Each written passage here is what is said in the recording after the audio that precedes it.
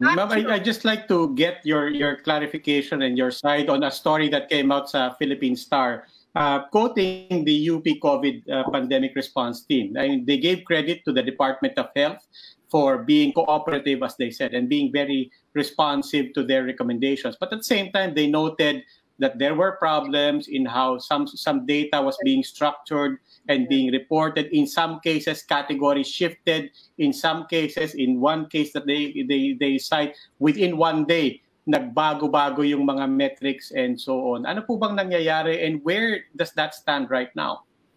Actually, sir, uh, hindi naman ho kami magkakaila no na kami uh, hindi namin sasabihin that we have a perfect system kung maiintindihan po ng uh, ating mga kababayan kung paano kinukuha ang datos dito sa ating bansa.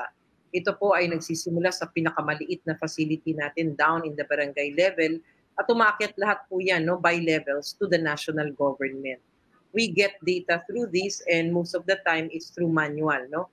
Magkakaroon lang ng automation pero pasa-pasa pa rin ng impormasyon. And somewhere along the way, magkakaroon at magkakaroon po tayo ng ganitong errors. And we are not denying that. Kung meron man ho silang nakita, amin pong i-correct yan. Pero ang dapat po natin lang sana maintindihan in this response that we have, uh, mula po nang nag-umpisa tayo, we tried to uh, correct all these uh, gaps in our system for information. And I think ngayon po, mas marami po tayong datos kesa sa dati na walang pandemya at nabuo natin ng ganito kadaming datos sa ngayon. Kung meron hong ganitong mga pagkakamali, bukas po kami at kami po ay magko-correct niyaan kung talagang nakikitaan ng pagkakamali.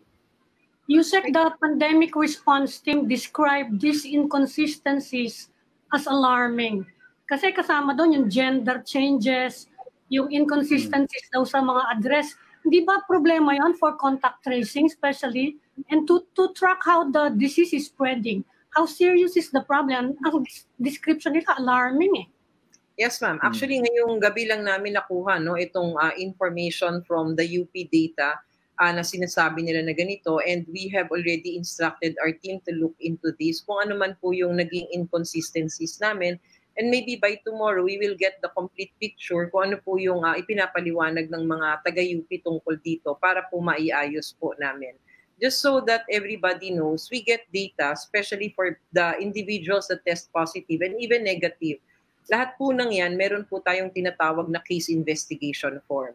Ito pong case investigation na form, uh, mag-uumpisa po yan uh, down to the barangay level as I've said, kung doon po tayo makakahanap ng ating mga suspetsya na merong sakit na ito.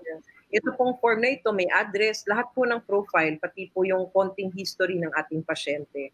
And ang nangyayari po, nagkakaroon din tayo ng problema dahil hindi nakukumpleto ng ating mga uh, local government units and even our hospitals, itong pag-fill up ng form na to. So binabalik-balikan po namin yan.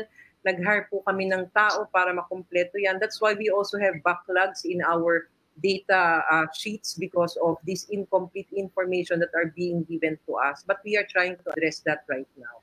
Offhand, what do you attribute the discrepancies?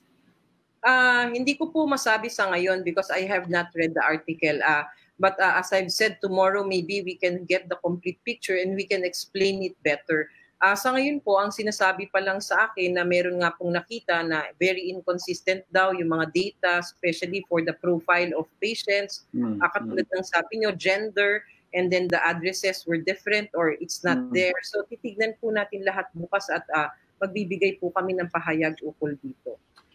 But does it, uh, Yusek, does it potentially, I mean, is there concern that this could uh, potentially and significantly uh, affect conclusions? Uh, of course, of course. Data mm. will be very important when you interpret and you uh, do your conclusions. But mm. as I've said, we have to see how how uh, how big it is, how significant it is, itong sinasabi nilang inconsistencies natin para masabi natin na makakaapekto sa mga conclusions at saka interpretation. So we need to check kung gaano po ka uh, lawak itong uh, pagkakamaling nagawa po dito sa data systems namin.